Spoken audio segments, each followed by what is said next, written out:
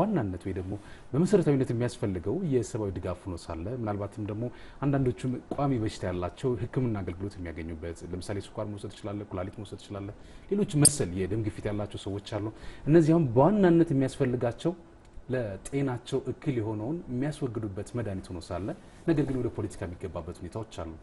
እሱ ብቻ አይደለም። ቀደም ሲል የጠቀሳችሁትም የባለሀብቶቻችን ሁናቴም የሆነ ፕሮግራም ሲካሄድ ካሁን በፊት ጉባኤ ሲካሄድ ወይ ስብሰባ ሲካሄድ በተለይ ህወሓት በሚያዘጋጃቸው መድረኮች አይታችሁ ከሆነ በርካታ ቁጥር ያለው ብር የሚሰበሰብበት ሁኔታዎችን አይተናል። fundraising አትለው ምን አትለው እስከ 500 ሚሊዮን ደግሞ አስታውሳለሁ የሆነ ሰዓት እና አሁን በዚህ ሰዓት የትግራይ ህዝብ የሚበላውና የሚጠጣው በሚያስፈልግበት ሰዓት በጣም መሰረታዊ የሚባል ጥያቄ በሚጠይቅበት ሰዓት ነገር ግን ወደ ፖለቲካ የመግባት አባዜዎች አሉና ይሄ የሀገር ውስጥ ብቻ አይደለም፣ ውጭ ያሉ ማህበረሰብ በነገራችን ላይ ስንል ጥሩ ስራ የሚሰሩ ሰዎች እንዳለ ሆነው ማለት ነው።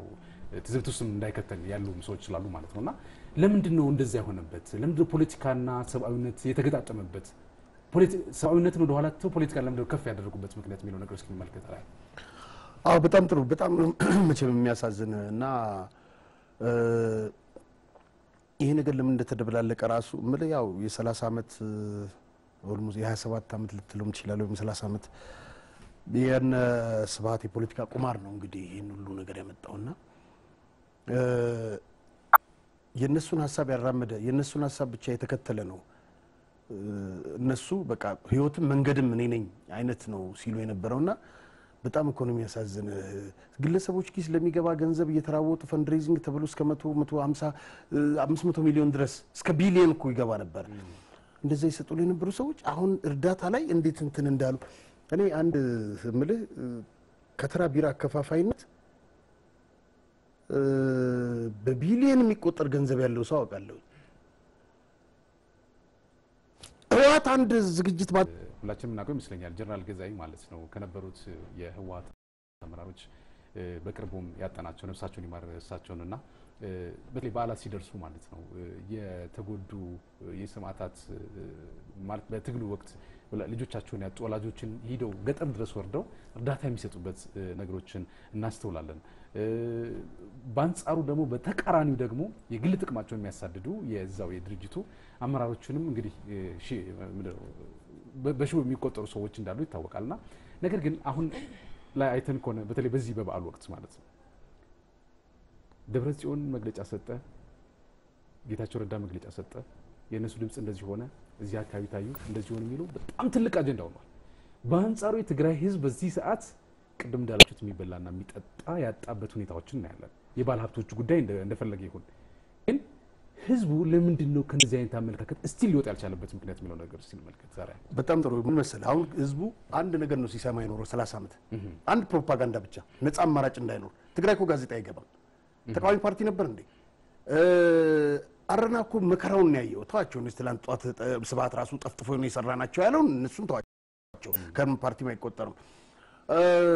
እነ ገብረ ዮሐንስ የአባቱ ማን ነበሩ? እነሱ ይሄ አረና በቤቱ ደጃፍ ላይ አንድ ሳምንት ሲቀር እኮ በጩቤ ተገብቷል እና ብዙዎች ተገድለዋልበታል። አረና ተሰቃይተውበታል። ስለዚህ ህዝቡ አንድ ነገር ነው እንዲሰማ ይደረገው። ሁለተኛ ከኛ ከሌለ እስቲ ተመልከት ከሰማንያ አራት ጀምሮ ኦነግ መጣብህ፣ ሻቢያ መጣብህ፣ ኢዲሃቅ መጣብህ፣ ህብረት መጣብህ፣ ቅንጅት መጣብህ፣ ሻቢያ ያልተባለው ምን ያልተባለው ነገር ግንቦት ሰባት መጣልህ፣ አብይ መጣልህ። እንዲህ ሁልጊዜ ጠላት ሲል ተፈጥሮለት ከሆነ የኖሩት እና ይህንን ሰብሮ መውጣት መቻል አለበት ህዝቡ። ይህንን ሰብሮ እንዲወጣ ግን ሚዲያው መስራት አለበት። ላለፉት አራት ወራት እንግዲህ ደጋግመን እንዳልነው ሲሰራ አይደለም የነበረው። ስለዚህ እኛ በቻልነው ሁላችንም ልናሳውቀው ይገባል። ትላንትና ከአበበሽ ጋር ነገር ስናወራ ነበር። እነዚህ ሰዎች በመጀመሪያ ድምፅ ከሆነ የሚናፍቃቸው እነ ስብሀትንም ቀርተን ልናመጣላቸው እንችላለን ከእስር ቤት ድምፅ ከሆነ የሚናፍቁት እና እነዚህ ሰዎች ለነፍሳቸው እኮ የሚሳሱ ናቸው። እነሱ መስፍን እንደምናምን አይታቸዋል። አንድ መሳሪያ የለም እኮ እጃቸው ላይ አሁን ትላንትና ስናወራ ከአበበሽ ጋር እናታቸውን ሽፋን አድርገው ከለላ አድርገው እኮ የሚተኩሱ ናቸው እነዚህ ጎሽ ለልጇ ተወጋች ነበር የሚባለዋል። እነዚህ እኮ እናታቸውን ህፃናት ልጆች ከፊት አሰልፈው የእነሱ ልጆች አይደሉማ። የእነሱ ልጆችማ ውጭ ናቸው፣ በተንደላቀቀ ህይወት ውስጥ ናቸው ያሉት። ቅድም ሰላሳ ሰባት ሺህ የተከፈለላቸው ድሃው የተገበረ ምስኪን ህፃን። የሚገርመው እሱ ብቻ አይደለም። ከኋላ መትረየስ ብዙ ጀኔራሎችን አነጋግራለሁ። የሚያሳዝናቸው እነሱ ከፊት መከላከያ ይመጣል፣ ከኋላ መሳሪያ ተደግኖባቸዋል። ልዩ ኃይል ይገላቸዋል። እነዛን ህጻናት 16 17 ሰሞኑን ስናሳዩ የነበረው እያንፏቀቁ እንትን ሲሏቸው የነበሩትን ለዚህ ሁሉ መከራ ይዳረጓቸው ብዙዎች አልቀዋል። ለመግለጽ ሁሉ በጣም ትንሽ የሚያሳዝን የሚቀፍም አልቀዋል ህጻናት። እነዚህ ሰዎች ጉድጓድ ውስጥ ነው ጌታቸው ተናገረ ምናምን ምንድን ነው የሚፈለገው ነገር? ሁለተኛ ገዛይ አዎ ገዛይ ይህን ቪዲዮ መስራት አለ መድገም አለብን እኛ። ትግራይ ቲቪ ተሳስቶ ይመስለኛል የዛን ጊዜ ድምፀ ወያኔ እያለ ተሳስቶ ይመስለኛል ያንን ቪዲዮ የለቀቀው። አዎ በጭራሽ ሊለቀው አይችልም። አይ አንድም እናት ዞር ብሎ አያይም። ገዛይ መንደር ድረስ እየሄደ አምስት ልጆችና ባላቸውን ያጡ ሴትዮ አርባ ዓመት ሳለቅስ ኖርኩኝ አሉ። ዛሬ ገና እምባዬን የሚጠርግልኝ ሰው መጣ። ካየኋቸው በጣም ከሚዘገን ነው። አራት ልጆቻቸውን ያጡ እናት ሲሄድ ገዛይ ማንነቱን እኮ አይገልጽ- አይገልጽላቸውም። እንደውም ሁለት ሺህ ብር ሲሰጣቸው እንዲህ ለትራንስፖርት የሆናችሁ እቺ አንድ ሺህ ብር አይቶ አያውቁማ። ሁለት ሺህ ብር የብርሃነ ጋኖ እናት መቀሌ ሲለምኑ የስብሐት ነጋና የአዜብ መስፍን ልጅ የአምስትና የአስር ሚሊዮን መኪና ይዘው በላያቸው ላይ ይነዳሉ ሳይሰሩ ማለት ነው። ከየት የመጣ ገንዘብ? ከኤፈርት ለትግራይ ህዝብ ኤፈርት ምንም አላደረገለትም። እነዚህን ወላጆች እንኳን አልደገፈበትም። ገዛይ አበራ በእውነት ያው ነው። አንድ እሱን interview ያደረገው ጋዜጠኛ ይመስለኛል እና አንድ ግጥም ሰርቶ ነበረ። ሰዎቹን ቀጠሮ እኮ ይዘህላቸው ነበር ሄደህ ለመጠየቅ በፋሲካ ምን ልበላቸው ምናምን የሚል በጣም ያሳዝናል። ዛሬ የነ ብርሃነ ጋና አይነት የነ አራት አምስት ልጆቻቸውን የሞቱባቸው እናት ቁጥራቸው ይጨምራል። በእነማን በእነዚህ ሰዎች በሁለት ልብ ውስጥ በሀዘን ውስጥ ሆነው ነው የሚያሳልፉት እነዚህ እናቶች። ስለዚህ እኔ ከጦርነት የሚገኘው ነገር ምንድን ነው? በጣም ነው እኮ ግራ የሚገባ ነገር። አሁንም ደጋግሜ እንደምለው እዛ ገንዘብ አዋጥተው ግፋ ብለው ሂድ በለው የሚሉ ከሆነ ጥሩ የሆነ ይምጡና መዋጋት ነው። ከመዋጋት ውጤት የሚገኝ ከሆነ ይምጡና ይዋጉ። አሜሪካ ሆነ መጮህ አይደለም፣ አስፋልት ላይ መንከባለል አይደለም። እንዲህ ጦርነት እኮ የሰው ልጆችን የምትገብርበት ነው። ስንት ጊዜ ነው የሚገብረው ይህ ህፃን? እነዚህ ሰዎች ጀግኖችም አይደሉም፣ ምንም እኮ አይደሉም። በቃ ፈሪዎች ናቸው። ግን ሰዎች እንትን ስል ምን አሉ መሰለህ፣ ደምም ነው ወስዶ እዛ የጣላቸው። ደም ደም ነው የጣላቸው እና ለዚህ ማሳልፎ የሰጣቸው።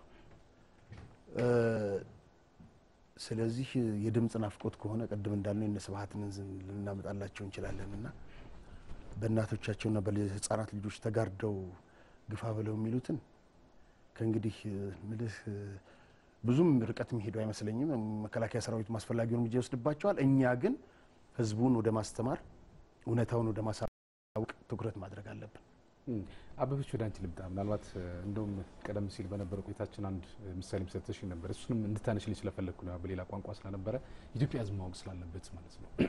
እንግዲህ እንዳልሽው የተወሰኑ የድርጅቱ አመራሮች ሊኖሩ ይችላሉ፣ still እጃቸውን ያልሰጡ ወይ ደግሞ ህይወታቸውን ያላጡ ማለት ነው።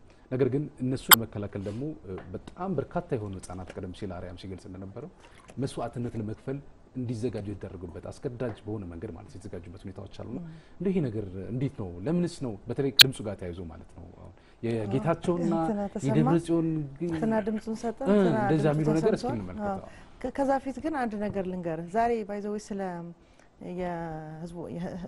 የኢትዮጵያ ህዝብ ያው ችግር ላይ ካሉ ተፈናቃዮችም እንዳልነው ግን ደግሞ ስለ በጦርነቱ ምክንያት ደግሞ ትንሽ የባሰ ጉዳት የደረሰበት የትግራይ ክልል አካባቢ ያለው ማህበረሰብ ስለነበር ነው የእርዳታውን ጉዳይ ወደዛ አካባቢ ወሰድ ነው።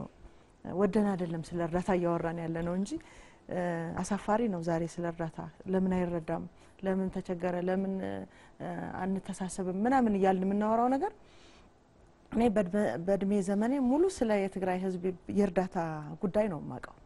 ከሰባ ሰባት ጀምሮ እንኳን በማስተዋል መስማት የቻልነው ታሪክ ብትለኝ በሰባ ሰባት ዓመተ ምህረት የነበረው ድርቅም ከዛም በኋላ እንደዚህም ሆኖ ሰላሳ ምናምን ወደ አርባ ዓመትም ተጠግቶ እስካሁንም ስለ መረዳት ስላለበት የትግራይ ማህበረሰብ እያወራን ነው። ምክንያቱም አንድ ነጥብ ስምንት ሚሊዮን ህዝብ ይዘው ነው ጦርነት ያወጁት። ማለት አንድ ነጥብ ስምንት ሚሊዮን ህዝብ እርዳታ የሚያስፈልገው ማህበረሰብ ይዘን ነው ወደ ጦርነት የገባ የተባለው የትግራይ ህዝብ ማለት ነው። እና ስለ እርዳታ የምናወራበት ምክንያት ታሪካችን ይህ ስለሆነ ነው ለማለት ፈልጌ ነው እንጂ በዚህ በበዓል ዋዜማ ማውራት የነበረብን ስለ አርአያ በግ ማረድ ትችላለህ ወይ አንቺ ዶሮ ማረድ ትችላለሽ ወይ የሚሉ ዘና የሚያደርጉ ወሬዎች ነበር የሚጠበቁብን አሁን ማውራት ከነበረብን ማለት ነው። ግን ከዛ እንዳንወጣ የሚያደርጉን still አሁን ወደ ጠየቀኝ ስመለስ still ድምጻቸው እየተሰማ ነው የሚባሉ መሪዎች ያሉበት ክልል ስለሆነ ነው። በጣም ይገርመኛል። እኔ ብዙ እናቶች ልጆቻቸው ድምጻቸው የት እንዳለ አያውቁም። ምሽግ ውስጥ ነው ያሉት ልጆቻቸው በህይወት መኖራቸውም አያውቁም። ካሉ በህይወት ምሽግ ውስጥ ነው ያሉት። ድምጻቸውን መስማት አልቻሉም። ብዙ ወላጅ ብዙ ልጆቹን ማለት ነው። የሚዲያው በተለይ የእነሱ ደጋፊዎች ሆነው ሚዲያውን እያራገቡ ያሉ የሚባሉ ሰዎች እኔ በነገራችን ላይ ከየትኛው ሚዲያ አይደለም የምሰማው። ሚዲያውን ሰምተው ደብረ ጽዮን እኮ እንዲህ አለ፣ ጌታቸው እኮ እንዲህ አለ የሚሉ ደግሞ ሌሎች አፍሪካዊ ሚዲያ ተፈጥረዋልና እንዴ ጉዳዩ የሁለት ሰዎች ጉዳይ ነው እንዴ? እንትና በህይወት አለ፣ ድምፁ ተሰምቷል። እንትና ደብረጽዮን በህይወት አለ ጌታ የምንባባለው ስለ ልጆቻቸው የሚጠይቁት እናቶች ድምፅ ሴት ነው ያለው እላቸዋለሁ። በጣም በሚያሳዝን ሁኔታ ስለ ሁለት ሰዎች ድምፅ መሰማት ነው እንግዲህ አጀንዳው የሆነው። እነዚህ ሁለት ሰዎች ደግሞ ትላንት እንዳለው በትግርኛም ገልጨዋለሁ። አንተ እንግዲህ መሪ ሆነ ሰላም ማስከበር ካለብህ ያንን ሰላምህን የሚበጠብጥ አካል ከመጣ መሳሪያ ልታነሳ ግድ ይላል። እናትህ ጉያ ውስጥ ና ተዋጋ ብለህ ግን የተጠራበት የጦርነት ታሪክ አላቅም። ልጆችህ አዛውንት እናት፣ ሽማግሌ አባት፣ ሀብት ምንድነው ከብቶች ግቢ ውስጥ ብለህ ብታስበው አንድ ሀገር ከጎረቤት ጋር ብትጣላ ና ወደ ቤት እንዋጋ ብለህ እሳት ወደ ቤት አትጠራም። እኛ ግን የተጠራብን እሳት ነው ወደ ክልላችን። አንደኛ እሱ ነው ወይ የመጨረሻው አማራጭ የነበረው ብለህ ብታስበው መልሱ ከባድ የሆነ ጥያቄ። ሁለተኛ ያ ሁሉ ድሀ ህዝብ ይዘህ አንድ ነጥብ ስምንት ሚሊዮን ከስድስት ሚሊዮን የሚረዳው አንድ ነጥብ ስምንት ሚሊዮን ህዝብ ነው። ይህን ያህል ህዝብ ይዘህ ደግሞ እንደውም ምን አስታወስከኝ አሁን ያ ቅድም ለመነሻነት እንደ አንድ ስለ በሰማኒያዎቹ ስለነበረው የጦርነት ታሪክና የደርግ ሰራዊት የጻፈው ሰው ታሪክ ነው። ቅድም እንደጠቀስኩት ከዛ መጽሐፍ ልጠቅስ ፈልጌ ነው። በኢትዮ ኤርትራ ጦርነት ጊዜ እዚህ ገዛ ገብረ ስላሴ አካባቢ ስለነበረው ጦርነት ሲገልጸው እዛ አካባቢ እንደ አጋጣሚ ሆኖ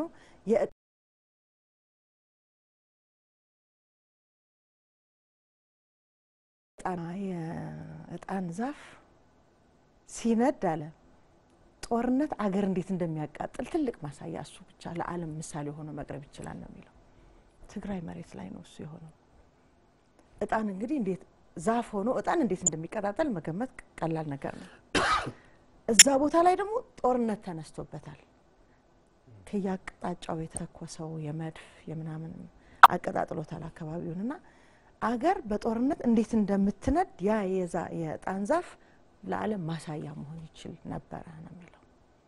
እንዲህ አይነት ታሪኮችን አልፈን መጥተን ነው ዛሬም ስለ ሕዝባችን ይህን በዓል በእርዳታ በመታገዝ እንዴት ማሳለፍ እንዳለበት እያወራን ያለ ነው። ነገር ግን ቅድም ወዳልኩት ልመለስና ስለ ሁለት ሰዎች ድምጽ ነው እየተወራ ያለው። ስለ ሁለት ሰዎች ድምጽ መሰማት። ወጣቶቹስ እናቶች እኮ ልጆቻቸው የት እንዳሉ መስማት የሚፈልጉት ድምጽ ያለበት ክልል ላይ ነው ያለ ነው። ግን መፍትሄው ብናወራ ነበር ደስ የሚለኝ። ያለ ነገሩ መፍትሄው አንዳንድ ጊዜ ከአቅም በላይ ሲሆን የሀገር ሽማግሌ፣ የሃይማኖት መሪዎች፣ አባቶች ይገባሉ እንደዚህ አይነት ጉዳይ ላይ ነገሮቻችን በዚህ አብቃ የሚል አሳሰብ ይመጣል እና እንደዚህ አይነት ችግር ሲፈጠር በዚህ መንገድ መፈታት መጀመር መቻል ነበረበት ብዬ ነው የማምነው።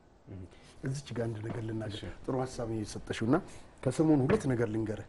በሀውዜን ውስጥ የዘጠና አምስት ዓመት የሰባ አምስት ዓመት ምልህ እንትናቸውን ሽንታቸውን መቆጣጠር ሁሉ የማይችሉ ሰዎች ቆራርጠው ነው የገደሏቸው። የትግራይ ተወላጆች ለአንድ ሰው በቀል ስሉ በነገራችን ላይ ሰላሳ አንድ ደርሰዋል። ለአንድ ሰው ለምን ተቃወመችን ምናምን በሚል ማለት ነው። ከትላንትና ወዲያ አላጄ ላይ ቤት መራ የቤት መራ አዎ ሰባት ሰባት ሰዎች ገድለው ሀያ አንድ ሰዎች አፍነው ወስደዋል። ትላንትና ቢቢሲ መቼም በጣም ተሳስቶ መሆን አለበት ወይ ሌላ ሰው የዘገበው መሆን አለበት እንጂ የህወሓት ታጣቂ ብሎ አያውቅም። የህወሓት ገደለ ብሎ አያውቅም። ሁልጊዜ እንትን የሚያደርገው መከላከያ ሰራዊትን ነው። ድርሰት እየፈጠረ ነው የሚጽፍ የነበረው። ትላንትና ግን 16 ሰዎች በዚህ ወደ በአማራ ክልል ላይ ገብተው የህወሓት ታጣቂ ቡድን እንደገደላቸው ተናግሯል። ሽማግሌ ላልሽው ሽማግሌዎች የተራዱ የዘጠና አምስት የሰባ አምስት በአንድ ቀን ሀውዜን ውስጥ አራ ምናምን ሰዎች ናቸው። ስም ዝርዝራቸው ሁሉ አለኝ እኔ አርደዋቸው ነው የሄዱት።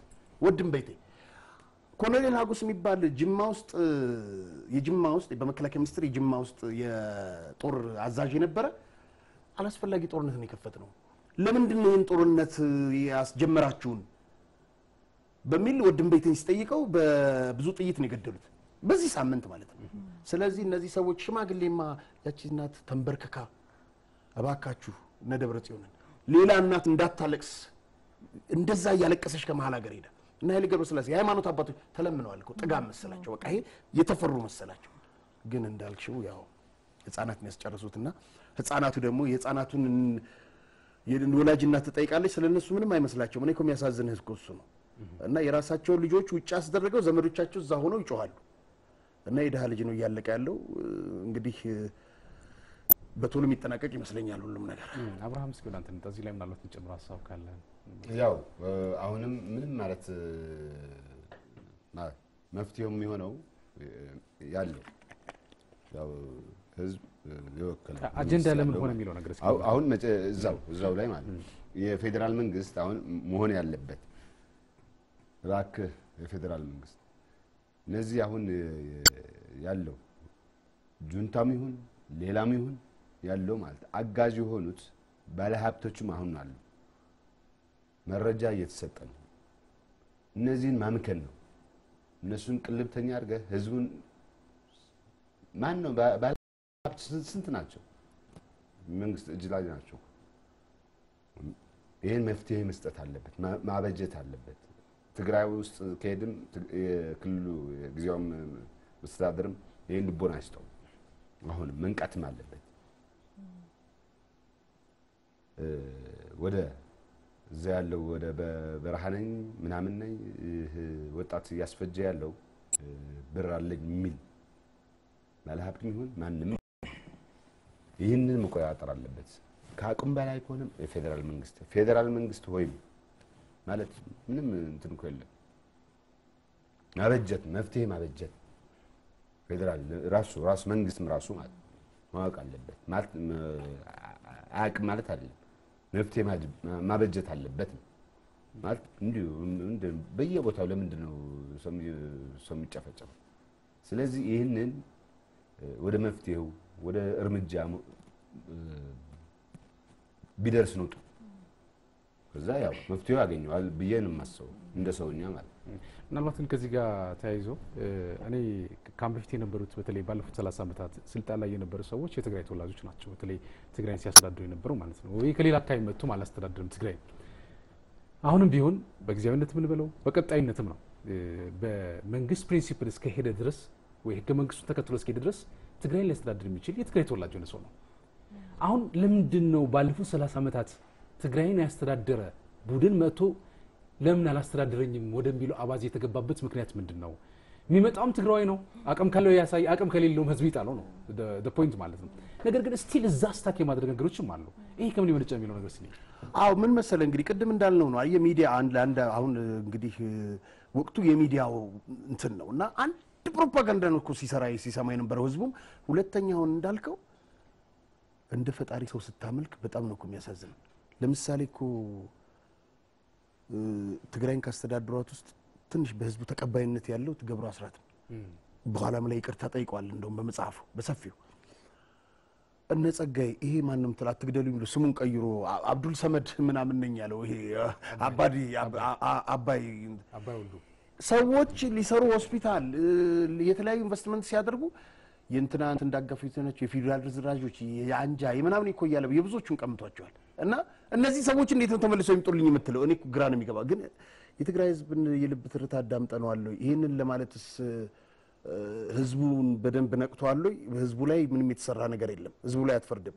ግን ፊደል ቆጠርን ቆጠረ የምትለው ዝም ብሎ የተደናቆሩ አንዳንድ እንትኖቹ ሰው ያመልካሉ። ይሄ እኮ ማለት ራሳቸውን በተለይ ፊደል የቆጠሩት ይህን ሲሉ ራሳቸውን ነው እየሰደቡ ያሉት።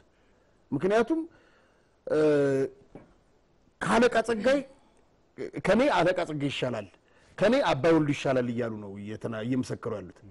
ይሄ ደግሞ በጣም የሚያሳዝንና የሚያሳፍር ነው። ስለዚህ ወጣቶች አሉ፣ መስራት የሚፈልጉ ሰዎች አሉ። አሁን እኛ ከበደ መጣ እንትና መጣ አይደለም ለህዝቡ የምናሳውቀው ራሱን በራሱ ማስተዳደር መቻል አለበት። ከዚህ ከሴፍቲኔት ከአንድ ለአምስት ከምናምን ይህን ተነፈስክ ይህን አሰብክ እየተባለ አሁን እኮ እየተገደለ ነው። አሁን ቅድም የዘረዘርናቸው ሰዎች አሉ፣ እየተገደለ ነው በሽፍታ ማለት ነው። በሽፍታ ይህን የሚሰሩት አደገኛ ሽፍታ መልሰው የራሱ የትግራይ ህዝብ ጠላት የሆኑትን ማምለክ ምን እንደምትለው አላውቅምና ይሄ ይመስለኛል ነ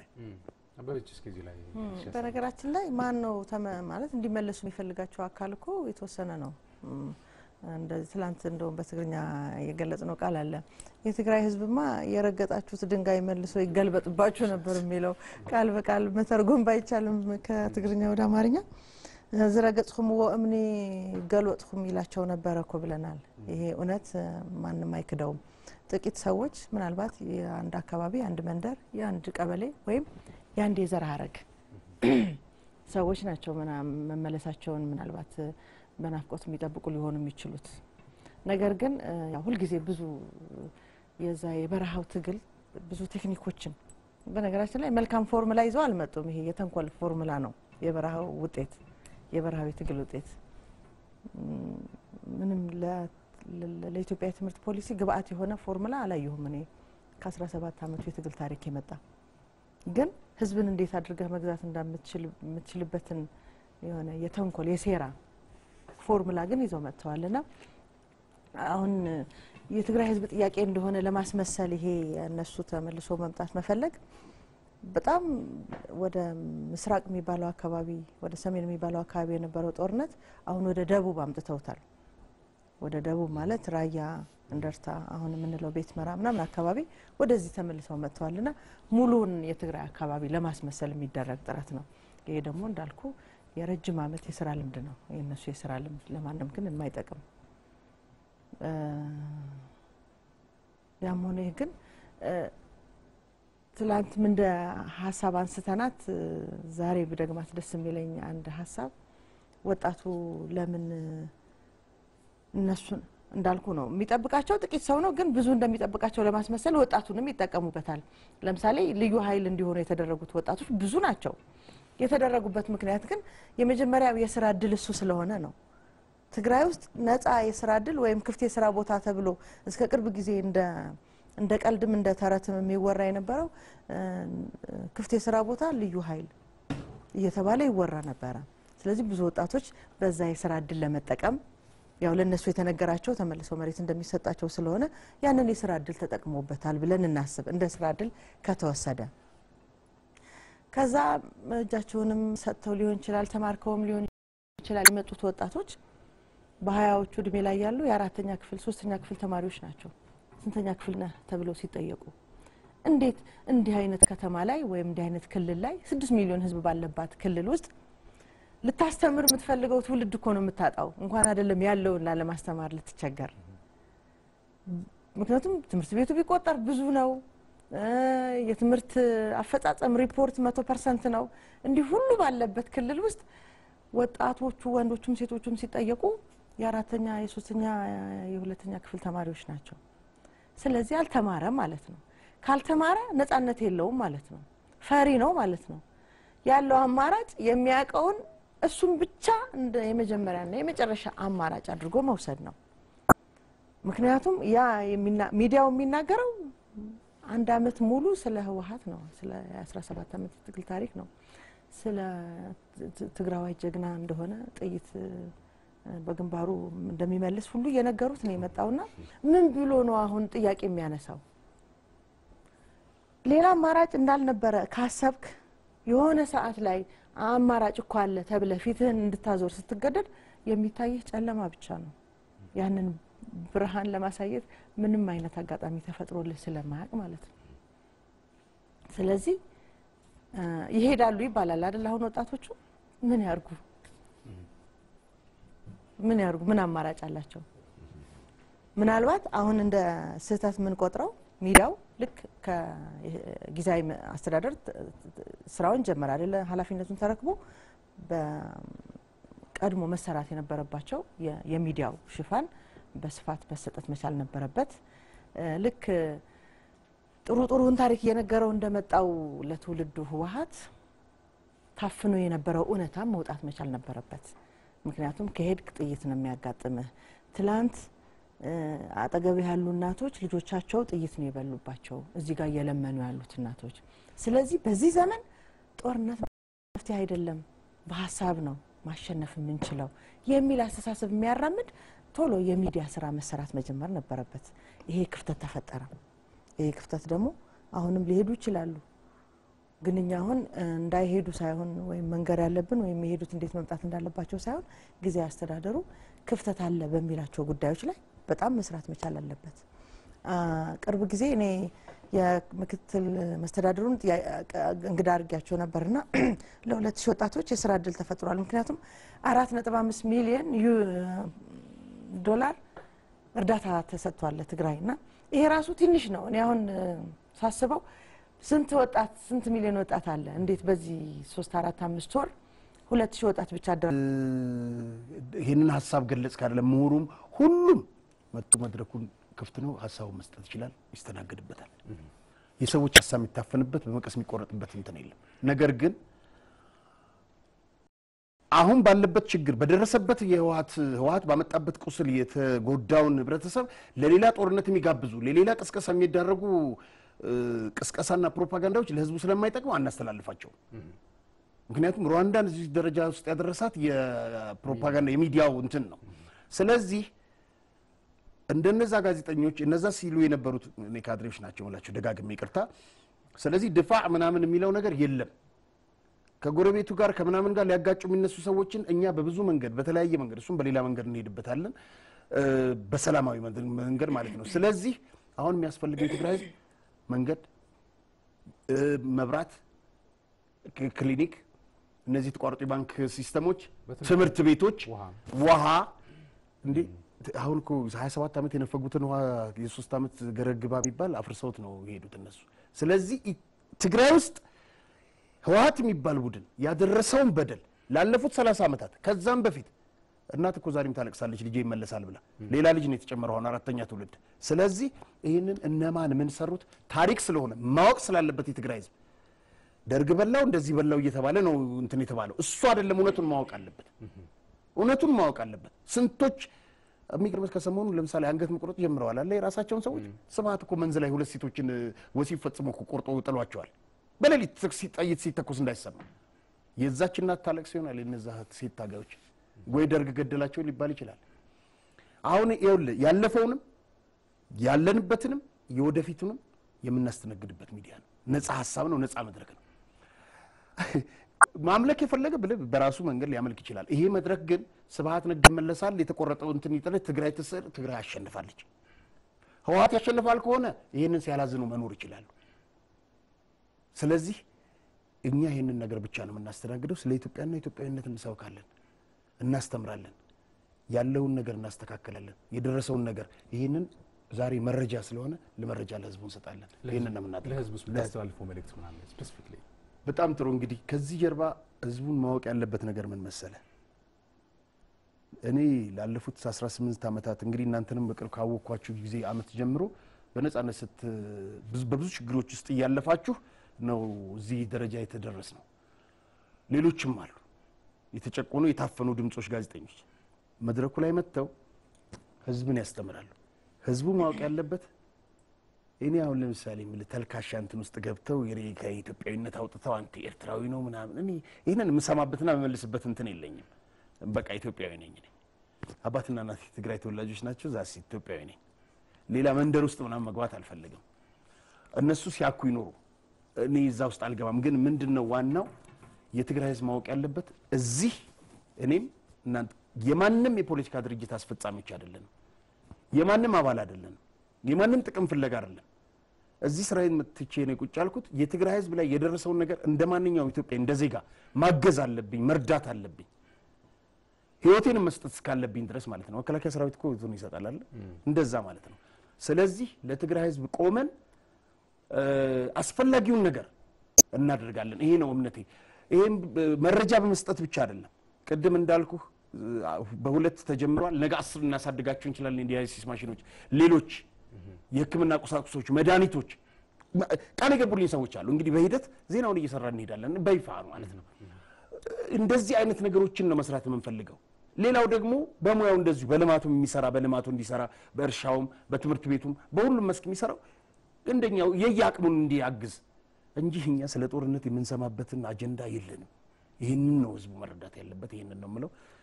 በችግርና በአጣብቅኝ ውስጥ ቢሆንም መልካም የትንሣኤ በዓል ይሆንላችሁ። መልካም ያው እነ ከአበበችም አብርሃምም እንግዲህ ከበዓሉ ጋር እያያዘች ስፔሻሊ ማለት ነው። አሁን በብዛት ስለ ፖለቲካም ስለ ጦርነትም ስለሆነ ኢየሱስ ክርስቶስ የትንሣኤ ዋዜማ ላይ ነው ያለ ነው።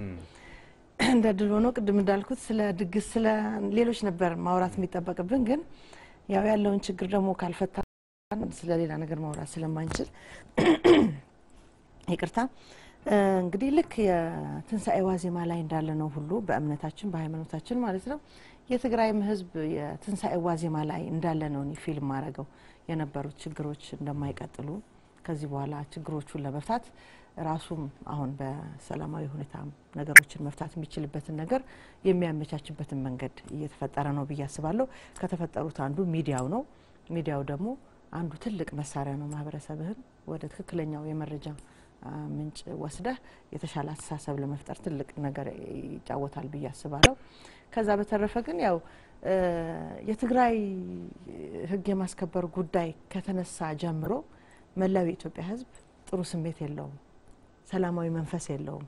አይምሮ እዛ ላይ ነው። ምክንያቱም እዛ እንኳን ባትወለድ እዛ እንኳን ባትሰራ ባታድግ ብዙ ኢትዮጵያውያን ልጆቻቸው መቀሌ ዩኒቨርሲቲ ያስተምረዋል፣ አክሱም ዩኒቨርሲቲ ያስተምረዋል። ትግራይ ሲባል የልጆቻቸው አንድ አካል እንደሆነ የሚያውቁ ኢትዮጵያውያን ያለበት ሀገር ነው ያለ ነው እና አሁንም በዚህ መንፈስ በመጨነቅ መንፈስ ውስጥ እንዳለን እና- እናውቃለን። ሁሉም ኢትዮጵያዊ ይህኛውን መንፈስ እንደሚጋራው አውቃለሁ እና ከዚህ ከመጨነቅ በዘለለ ችግሩ ለመፍታት እያንዳንዱ ባለሙያ የኪነ ጥበብን ባለሙያ ሊሆን ይችላል ማህበረሰባችንን የሚያነቃነቃ- የሚያነቃቁ የሰላም መዝሙሮች፣ የሰላም ፌስቲቫሎች ቢዘገጃጁ ትልቅ ለውጥ ይመጣል ብዬ አስባለሁ። እውነተኛው ትንሣኤ ይሆንልናል የሚል ሀሳብ ነው ያለኝ። ይሄ ነው እንግዲህ ማጠቃለያ ሀሳቤ። ያው ገልጸውታል። የገለጹት ትልቅ ቁም ነገር ስለሆነ እ፣ ማስተላልፈው መልእክት ብቻ ነው። ኳዕ ጽሕካትም ጎተተየ በጣም ነው የማመሰግነው። በነገራችን ላይ ያው አሁን ማንሳት የምፈልገው በተለይ ደግሞ እንደዚህ አይነት መድረክ ላይ ለማሳመር መድረኩንም ለማሳመር ለሕዝቡም ያላችሁን ክብር ለማሳየት እዚህ ባህላዊ ልብስን የለበሳችሁት በተለይ ደግሞ ትግራይን እና በትልቁ ደግሞ ኢትዮጵያ ሊገልጽ የሚችል አለባበስ ለብሳችሁ ስለመጣችሁ ሁላችሁንም በተመልካቾች ስም በጣም አድርጌ ነው የማመሰግነው። እግዚአብሔር ያክብርልኝ። ለነበረን ቆይታም በጣም ነው የማመሰግነው። እንግዲህ በሌላ ጊዜ ያመሰው ይበለን እና ደግሞ ሌሎች ጉዳዮችን እናነሳለን። መደበኛ ስራችን እንዳለ ሆኖ ማለት ነው። ለነበራችሁ ቆይታ ግን በጣም አመሰግናለሁ። እናመሰግናለን። መልካም በዓል ለሁሉም እንመኛለን። መልካም ክቡራትና ክቡራን ተመልካቾቻችን የትንሣኤ በዓል ምክንያት